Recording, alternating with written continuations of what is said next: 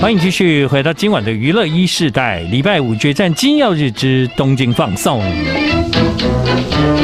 接下来进行的是许富凯演歌五香。嗨，大家好，我是许富凯，建哥好。对，那许富凯呢，已经连续几个星期在我们的娱乐一世代礼拜五的晚上呢，用一首歌、一首演歌跟大家来做分享。是的，对，但其实我有时候发现呢，就是演歌有一种情怀。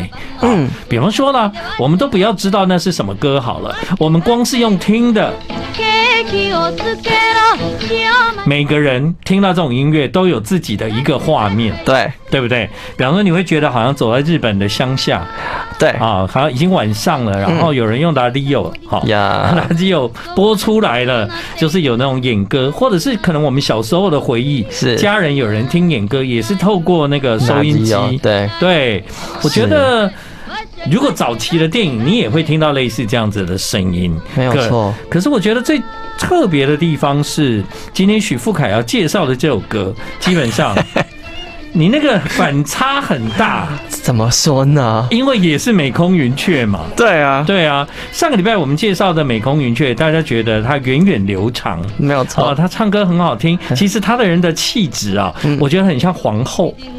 啊，有有那种感觉，对不对？演歌皇后，对，她就是有那种很亲民的皇后的那种那种味道，姿态这样子。对，那那今天又是另外一种感觉。他其实真的很千变万化，他他他尝试的曲风好多。对对，呃，如果说早期现在的 rap，这个就是早期的 rap。好，来听一下。就是他可以唱很快，他可以唱快哦。有没有？哎，真的耶！那个舌头要动多快，那嘴巴要动多快啊！真的，我们台湾就是派刘福柱跟他对抗。刘福柱大哥，对不对？但我跟你讲，有一位女士，嗯，台湾人哦，唱这一首歌。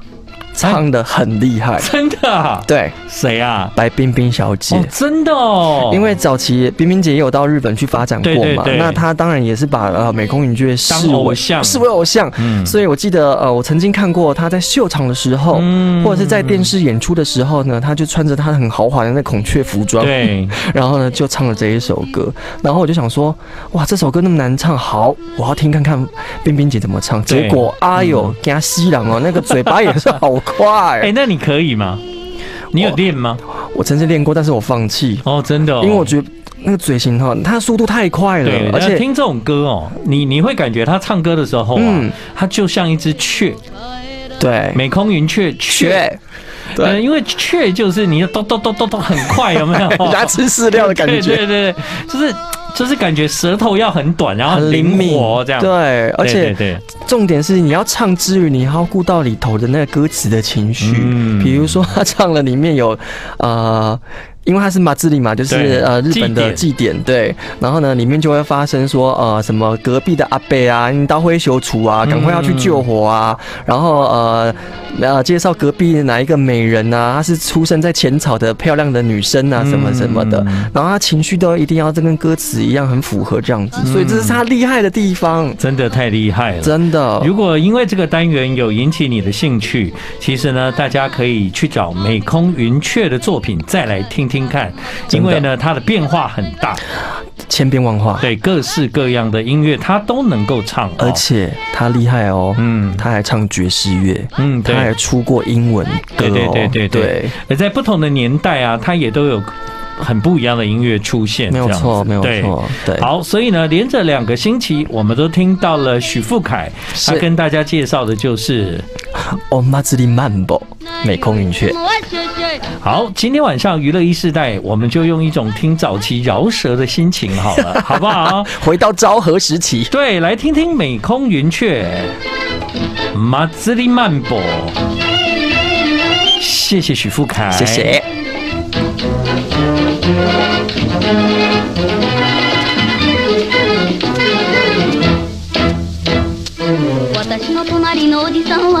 は神田の生まれるちゃっちゃけどっこ祭り騒ぎが大好きでねじり鉢巻き揃いの浴衣。雨が降ろうが槍が降ろうが朝から晩までおみこし担いでわっしゃいわっしゃい。わっしゃいわっしゃい。ケーキをつけろ。塩巻いておく。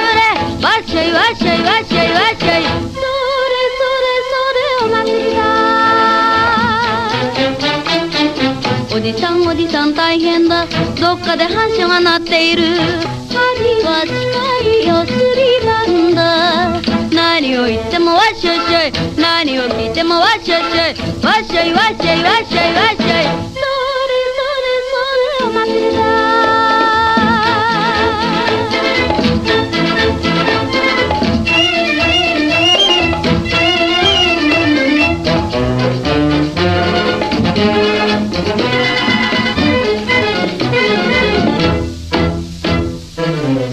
た隣のおばさんは浅草育ちでちょっぴり美人でお祭り騒ぎが大好きで引きなす足に絞りの浴衣雨が降ろうが槍が降ろうが朝から晩まで岡村見物ピーキャラピーキャラてんつくてんつくおかめと鬼が般若とひょっとこがピーキャラピーキャラてんつくてんつく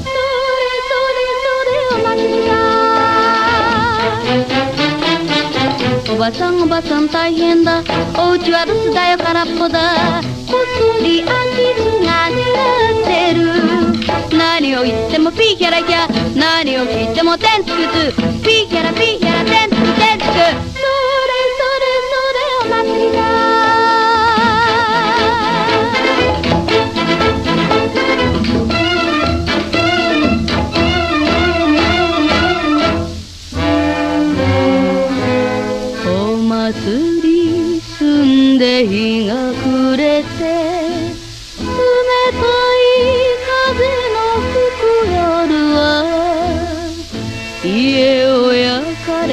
たおじさんとへそくり取られた